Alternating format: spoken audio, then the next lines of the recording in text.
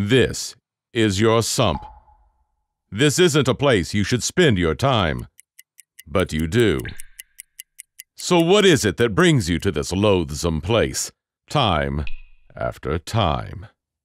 It's that always failing pump. I mean, it only has one job. Just one. Why?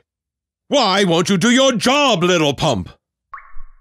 Here's the problem rocks, bolts, and other large chunks of debris are too big for your ball valve pump. They can't pass through the small openings and passages. So you need to get the right pump. The Sandpiper heavy duty flap valve pump solves your blockage problem by allowing debris as large as your pipes to pass through. This unparalleled piece of engineering will pass solids that are over seven times larger than what a ball valve pump can handle.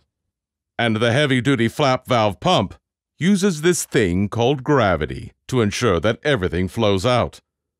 Ball valve pumps attempt to push everything uphill, and gravity will always win.